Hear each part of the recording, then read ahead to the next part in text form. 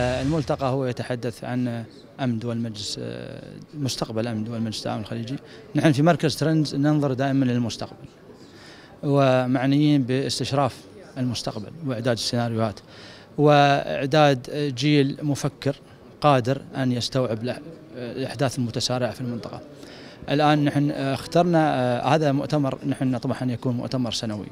مركز ترندز للبحوث والاستشارات أخذ على عاتقه أن ينظم هذا المؤتمر ويحاول أن يستخدم كل خبراءه على مستوى العالم بأن يتحدث عن موضوع مهم جدا وهو التطرف مكافحة التطرف.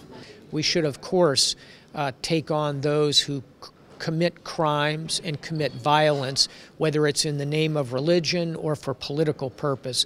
They must be faced and stopped. اعتقد ان في جزء من التنظيمات الارهابيه اللي بتعمل في المنطقه العربيه فيها تنسيق فكري وايديولوجي لا تقتصر على داعش وانما تقتصر على ايضا على التنظيمات الارهابيه المتعلقه بالاسلام السياسي سواء تنظيمات فرعيه للقاعده او غيرها. السؤال هل هناك استراتيجيه حركه بينها؟ اعتقد ان في فكر ايديولوجي رابط ما بين هذه التنظيمات بصوره او باخرى. Most of the so-called cooperation is at the level of people talking about the same ideologies. وهذه الأيديولوجية اللي تحملها الحركات الجهادية الإسلامية يعني مصابة بخلل مفاهيمي وخلل فكري آه وأبسط دليل على ذلك أنه لو نشوف آه هذه المنطلقات الفكرية اللي ينطلقون من عندها هي لا تنسجم ولا ترتبط بالواقع بشكل واضح. الإسلام من اسمه هو سلام، لكن تقاعس في الحقيقة وكسل المشايخ أو اساتذه الشريعة الإسلامية في إيصال مفهوم الدين، أنا أعتبر هذا فشل. ما في الدين، فشل في من يدرس الدين. لابد أن يعترفوا بهذا الفشل، لابد أن يصححوا مساراتهم، هذا كسل حقيقي بعد بتراكمات سنين وصلنا إلى هاي المرحلة، اذا وين أنتم الصبح؟ أنتم منو دربتوا؟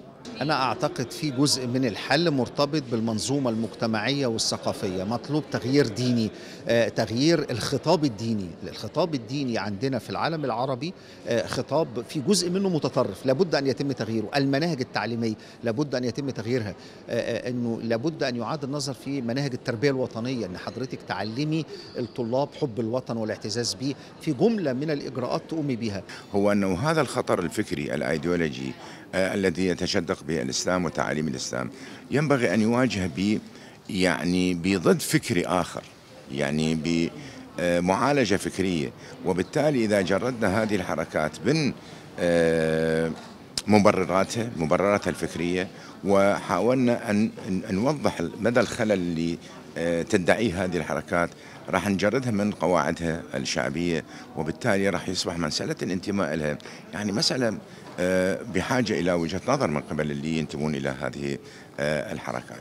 People who steal parts of the world's great religions, whether it be Catholic, Protestant, Jewish, Muslim, those those religions are religions for good. And the people who are faithful in those faiths are productive members of society.